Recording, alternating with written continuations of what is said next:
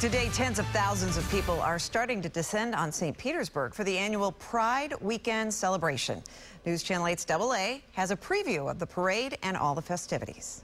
This weekend, downtown St. Pete, well, you can expect gridlock. It is going to be jam-packed with more than 200,000 people, and that's because of the St. Pete Pride Parade. Now, I am standing right here on the parade route right here. It will come through here. We are at Straub Park. Now, I talked to organizers who tell me they are expecting all kinds of people to show up.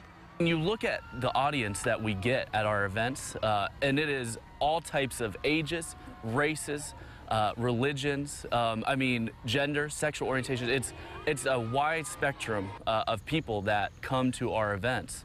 Uh, it's, a, it's pretty unique in that regard.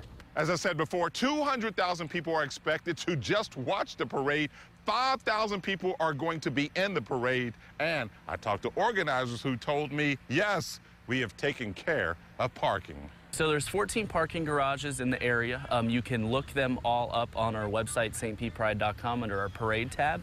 Uh, and one of the best features that we have this year is our free park and ride. So if you park at St. Pete High School, just Google the address, uh, and you can go take the bus uh, back and forth every 15 minutes. It's a free parking service, and it's one of um, our best services that we have for our parade.